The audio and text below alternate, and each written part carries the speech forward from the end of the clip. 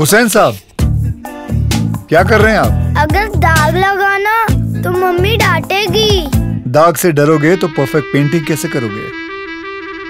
इसलिए अपनी मम्मी को दो माइक्रो बस्टर्स वाला निर्मा एडवांस ताकि तुम सिर्फ़ काम पे ध्यान दो।